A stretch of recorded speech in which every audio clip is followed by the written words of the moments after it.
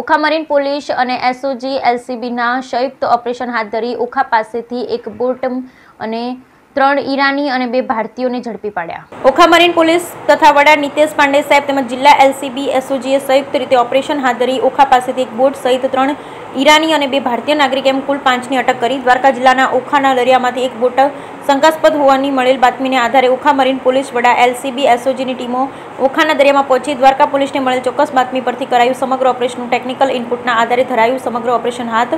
Okha marine પોલીસે સંયુક્ત રીતે ઓપરેશન હાથ ધરી ઓખા સિગ્નેચર બ્રિજ પાસેથી બોટ સહિત ત્રણ ઈરાની અને બે ભારતીય તમિલ નાગરિક સહિત કુલ પાંચની અટક કરી આરોપીઓ પાસેથી એક થુરાયા સેટેલાઇટ ફોન, આઠ મોબાઈલ ફોન, દસ ગ્રામ હેરોઇન, લેપટોપ બે લાખ પચાસ હજાર ઈરાની રિયલ, એક બોટ, પંદર એટીએમ કાર્ડ, બે પાસપોર્ટ, એક જીપીએસ ડિવાઇસ સહિતનો મુદ્દામાલ કબજે કરી વધુ તપાસ હાથ પોલીસે પાંચ આરોપીને ઝડપી પાડ્યા.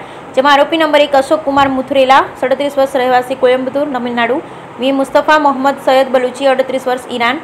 જોશમ અલી ઇસક બલુચી પંચવીસ વર્ષ Iran. Amir Ali Shah Baluchi, ઓગણીસ વર્ષ ઈરાન. આનંદ મુથરેલા, પાંત્રીસ વર્ષ રહેવાસી કોયમ્બતુર તમિલનાડુનો રહેવાસી હોવાનું સામે આવ્યું.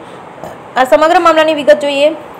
તો ઈરાની લોકો બોટ મારફતે ભારતમાં આવતા ઝડપાયા હોવાનું સામે આવ્યું છે અને ડ્રગ્સનો, દસ ગ્રામનો જથ્થો હેરોઇનનો જથ્થો વ્યક્તિગત નશામાં તે સાથ લીધો હોવાનું જિલ્લા પોલીસ વડાએ જણાવ્યું. આ સમગ્ર મામલે પાંચ આરોપીને ઝડપી વિવિધ કલમો હેઠળ ગુનો નોંધી ઓખા મરીન પોલીસ મથકે ગુનો નોંધાયો છે. ત્યારે પોલીસે આ મામલે કોઈ કનેક્શન અન્ય કોઈ સહિત છે તે સહિતની દિશામાં તપાસ હાથ ધરી છે. Bureau report Lalit Singadiya Devbhumi Dwarka.